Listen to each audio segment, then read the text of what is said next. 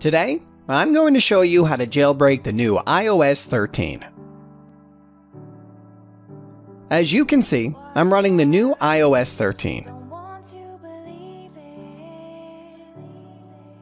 To install Jailbreak, you need to open Safari browser and visit jail-ios.com.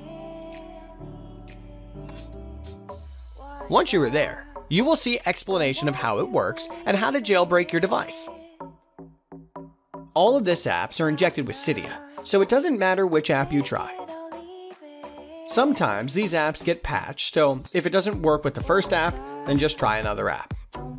All of the apps are, of course, 100% free, so you got nothing to lose.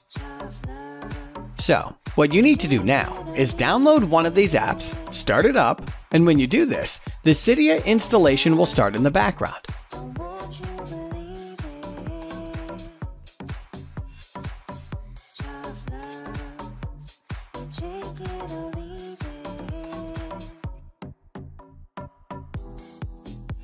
You need to start the app and keep it running for about 30 seconds to give Cydia time to install itself and the jailbreak.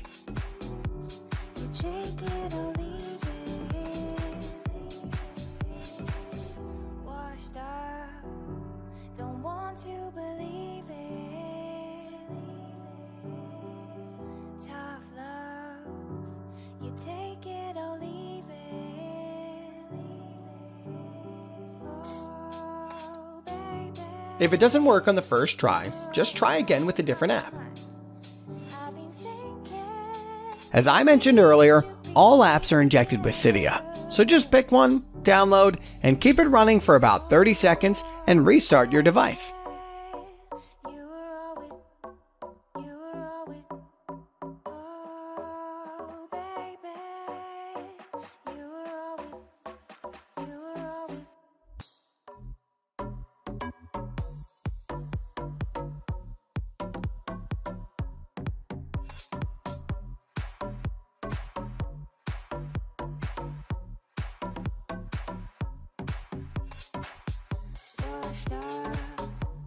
As you can see, I have Cydia and the jailbreak on my iOS device.